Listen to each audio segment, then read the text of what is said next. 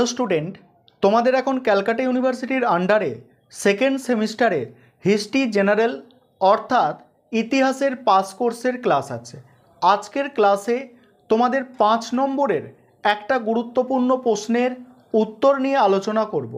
প্রশ্নটা তোমরা বোর্ডে দেখতে পাচ্ছ যে সুলতান মামুদের ভারত আক্রমণের কারণ। আর তোমাদের মনে রাখতে হবে যে পাঁচ নম্বরের প্রশ্নের জন্য তোমাদের দুশো পঞ্চাশটা শব্দে লিখতে হবে ইতিহাস সাবজেক্টের ক্ষেত্রে।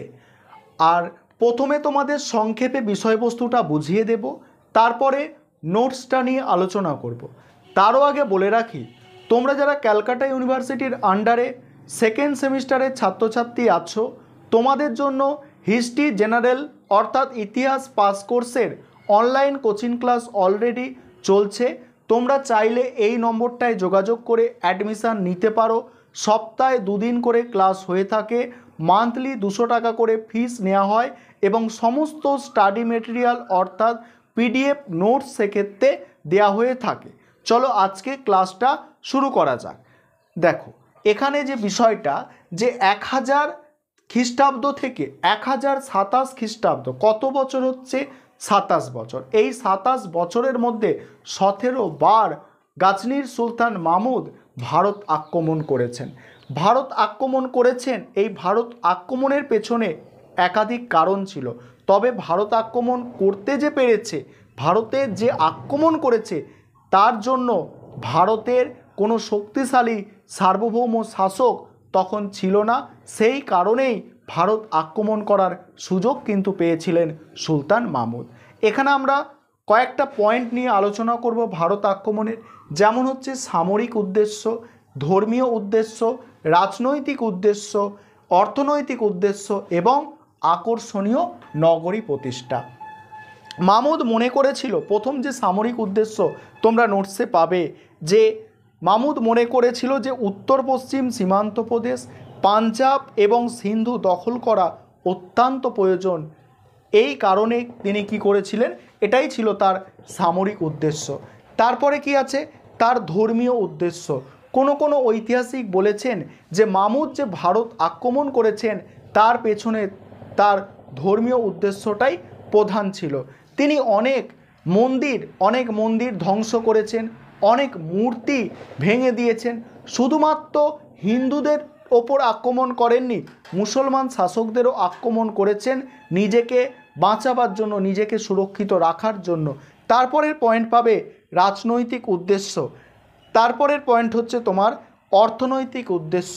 সুলতান মামুদ একটি দক্ষ সেনাবাহিনী পোষণ করছিলেন এবং মধ্য এশিয়ার শত্রুদের সঙ্গে যুদ্ধ করার জন্য এবং ওই দক্ষ সেনাবাহিনীকে চালানোর জন্য অর্থের প্রয়োজন এবং যথেষ্ট পরিমাণে অর্থ কিন্তু গাজনিতে ছিল না। সেই কারণে সুলতান মামুদ ভারত আক্রমণের সিদ্ধান্ত নিয়েছিলেন। এমনকি নগরী, অর্থাৎ সেখানে কি দেখো, সুলতান মামুদের রাজধানী গাজনি, সেই গাজনিকে সুন্দর করে সাজাতে চেয়েছিলেন। সেখানে প্রাসাদ নির্মাণ করতে চেয়েছিলেন। তারপরে আমুদরিয়া নদীর ওপরে বাঁধ নির্মাণ করতে চেয়েছিলেন। এমনকি সেখানে অনেক স্কুল, কলেজ তৈরি করতে চেয়েছিলেন। তার জন্য টাকার দরকার ছিল, সেই কারণেও সুলতান মাহমুদ ভারত আক্রমণ করেছিলেন। এবারে তোমরা নোটসটা দেখে নেবে এবং যেসব ছাত্রছাত্রীরা অ্যাডমিশান নিতে চাইছো, তোমরা বোর্ডে যে নম্বরটা দেখতে পাচ্ছ, এই নম্বরে যোগাযোগ করে অ্যাডমিশান নিতে পার।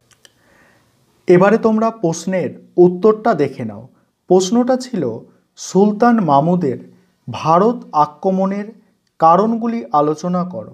অ্যান্সারটা দেখবে গাজনির শাসনকর্তা সুলতান মামুদ এক হাজার সাতাশ খ্রিস্টাব্দের মধ্যে, অর্থাৎ সাতাশ বছরের মধ্যে হবে এটা, সাতাশ বছরের মধ্যে সতেরো বার ভারত আক্রমণ করেছিলেন। তার ভারত আক্রমণের পাককালে মানে ভারত আক্রমণের আগে উত্তর ও উত্তর পশ্চিম ভারতে কোনো সার্বভৌম শক্তি ছিল না।